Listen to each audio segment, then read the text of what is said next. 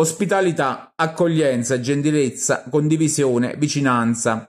Valori che ci avete fatto sentire appieno nel nostro storico esordio nel professionismo. Rimarrà per sempre riconoscenza, gratitudine e una fratellanza sportiva incancellabile nei vostri confronti. Con queste parole il presidente rossoblù Maurizio Puglisi ha voluto ringraziare la città di Pagani, il suo sindaco e il presidente della squadra di calcio locale.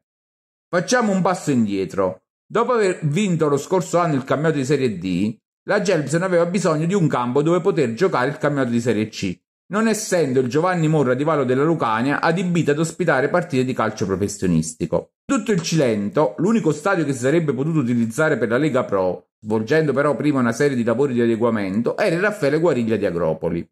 Trovare l'accordo con il sindaco di Agropoli Roberto Mutalipassi e con il presidente dell'Unione Sportiva Agropoli Carmelo Infante è stata una formalità, anche perché la società rossoblù si è accollata tutte le spese di restauro e di riqualificazione dell'impianto, una cifra che gira intorno ai 170.000 euro. Ma i lavori necessitano di tempo e quindi bisognava trovare uno stadio disposto a ospitare i rossoblù nelle prime partite di campionato.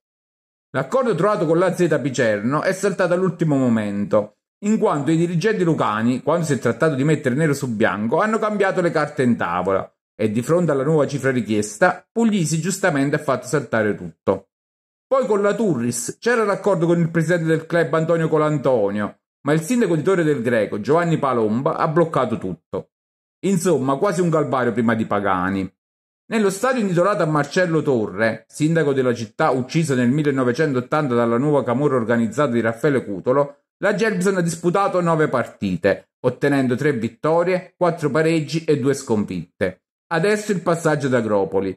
Nei giorni scorsi è arrivato l'ok della prefettura. Il Guariglia è ora adibito per ospitare partite di calcio professionistico. Sabato il debutto della Gelbson nel nuovo campo, nella sfida con il Monopoli in programma per le ore 14.30.